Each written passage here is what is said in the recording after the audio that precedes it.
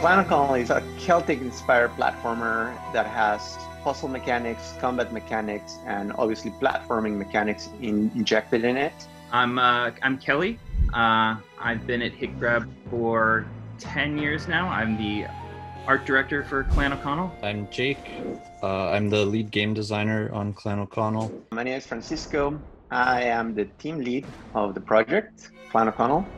Yeah, like I made uh, I made these designs about 12 years ago. Um, just something fun to play with in my uh, in my blog.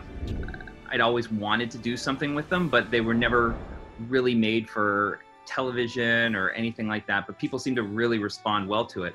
When I started creating the idea of the game, I was just looking back at the games that I loved as a kid, you know, and I just wanted to recreate that that same feeling of, you know, like you are immersed in this world. So I wanted to immerse myself or immerse others in this world. And when Francisco came to me with the idea of, of using them and creating the story around a game, it just seemed to make sense. And the whole thing just kind of fell into place. Uh, we're trying to hit our three pillars of platforming, puzzle, and combat, giving them all equal focus. And as well with the three different characters you can control and swap between, I think there's it allows for a lot of creativity in how you play through the game. When we started actually putting it together and making it gel, Francisco's ideas, my ideas, and then Jake's ideas for gameplay all kind of work together to really make the characters make more sense and, and I got really excited about the world we could make with it. There's a, a wealth of source material in the mythology. Uh, there's like tons of monsters that we've looked at as potential enemies. I could see these characters moving into different realms. Uh, I could see this world expanding even more. We, yeah, we'd love to be able to create more new levels and, and worlds and bosses. And... and we could expand on gameplay, and there's there's there's so much more we could do with this. So I could see this as just being the start of like a really really great uh, franchise.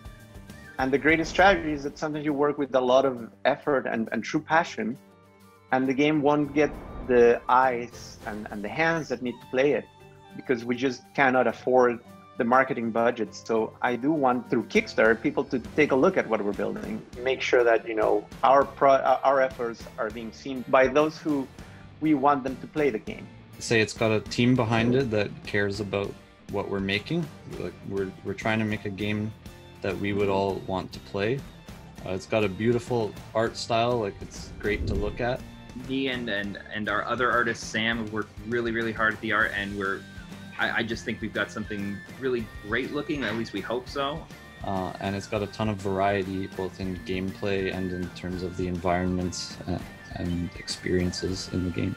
I hope this gets funded because I think it's it's got a lot of really original elements to it, and I think people would really enjoy it if they get a chance to play it. And that's why we are asking for money, just to to bring that vision that we have to reality.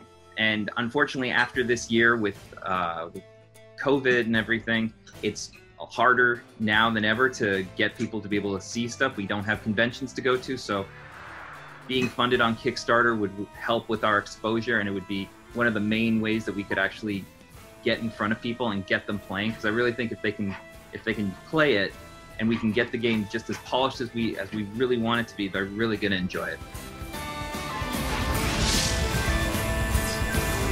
And um, and yeah, that's that's I think something worth investing on the passion of others.